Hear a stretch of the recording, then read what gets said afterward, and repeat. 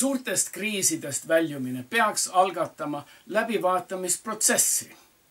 on tähtis analüüsida, kuidas kriisiga hakkama saadi ja kas kriisi oleks võinud paremini lahendada. ja on kah vaja kehtestada protseduure, mis võiksid sarnaseid kriise ennetada ja leevendada. seda õpetas mulle doktor Edward Teller, tuntud Ungari füüsik ja üks USA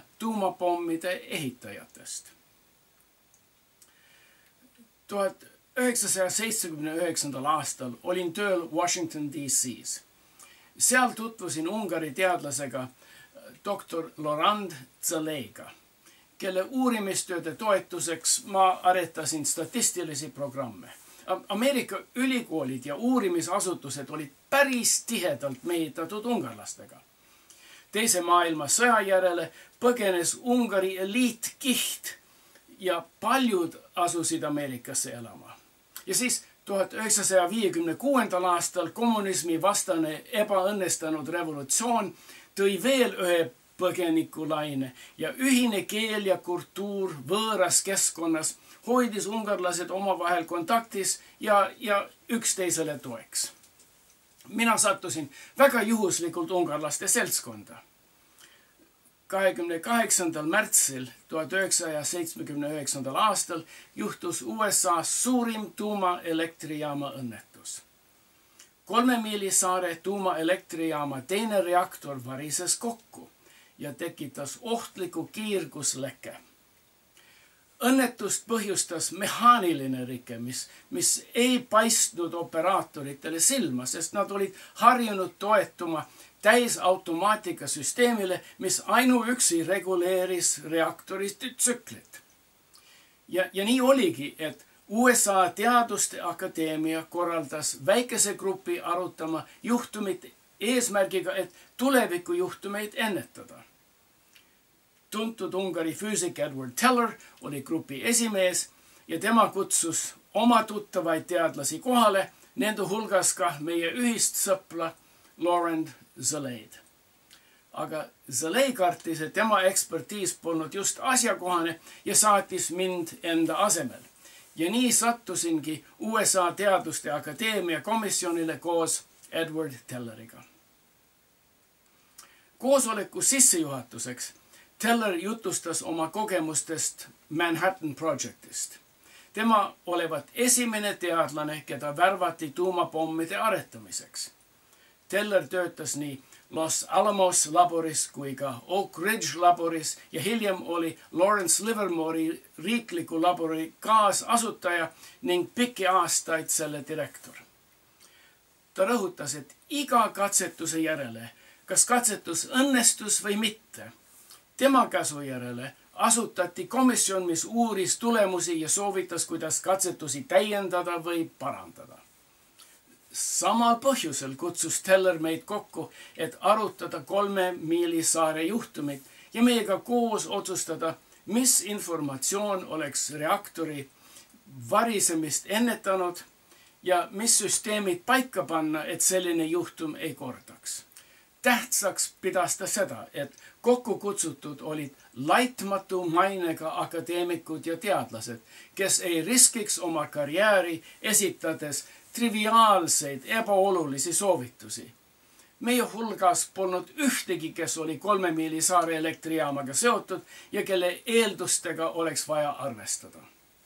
sarnast kokkuvõtte võimelist komisjoni on vaja kah peale koroonaviiruse kriisi Eesti on läbi viimas Covid-19 viiruse vastu võitluse katsetuse. see pole viimane selline kriis, mida tuleb valitsusel lahendada ja nii rahval kui ka valitsusel on vaja korralikku ja täielikku ülevaadet valitsuse tegevustest ja reaktsioonidest kriisi ajal. meil on vaja erapooletut ülevaatuskomisjoni mis pole valitsuse poolt määratud ja pole võimueliidi heakskiit ja kisakoor. meil on karta, nagu juba keskerid näitasid, et võtavad oma arvesse kõike positiivset ja süüdistavad vastaseid negatiivses. kui, kui koostaks läbivaatuse komisjon, mille liikmed on praegused ministrid ja nende nõunikud, siis on juba ette teada, kuidas valitsuse käitumist hinnatakse. Hindamisprotseduur, mis keskenduks vabanduste leiutamisega, tegevusetuse ratsionaliseerimisega ja tähtsusetu ja ebaoluliste soovitustega poleks riigi tulevikule kasuks. põhjalik analüüs võiks arvestada mitmeid teemasid, nende seas Eesti meetmed võrreldud teiste riikide meetmetega.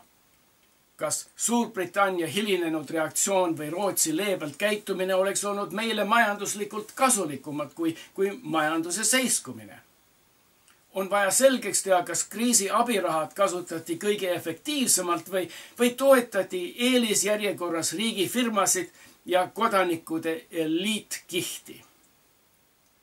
Oleks tähti, tähtis teada, kas, kas riigil on vaja eelnevalt varustada end kaitseriietustega, maskidega, ventilaatoritega ja nii edasi. on vaja selgitada, kas riik peab ise hankima eri, eriolukorra varustust või, või jäetakse hankimise jälle ebakompetentsete isikute kätte. esmatähtsusega on tuvastada, kus suuremad nakkusest, nakkuskolded leiti ja kuidas neid järgmine kord kiiremas korras kustutada. Arutame, arutama peaks ka, milline rahva mobilisatsioon oleks efektiivsem kas oleks olnud mõistlik töötuid värvata testimiseks ja nakatute kontaktide jälgimiseks. on ju, on ju täitsa mõeldav, et selle asemel, et kinkida töötutele raha kodus istumiseks, oleks võinud neid palgata ühiskonna heaolu tegevusteks.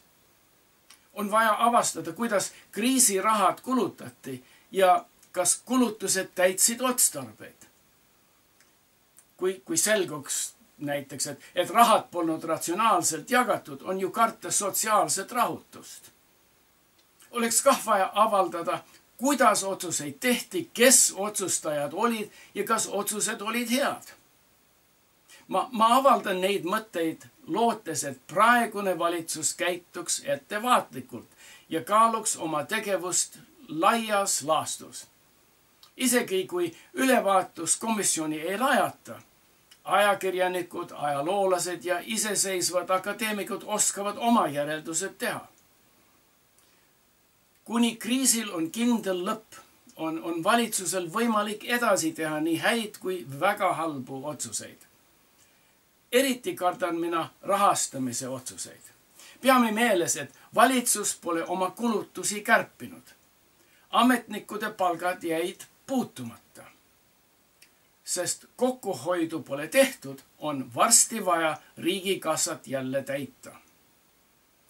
kui selgub, et ebavõrdselt määratakse makse juurde lihtrahvale, samal ajal kui rikkad pole midagi ohverdanud, võib see ühiskonda veel rohkem lõhestada.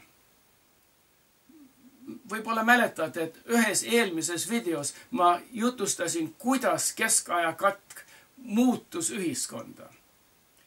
siin võiks meelde tuletada, et kui must katk oli Inglismaal peaaegu pooled inimesed tapnud aastal tuhat kolmsada kaheksakümmend üks, kuningriik määras uued maksud rahvale.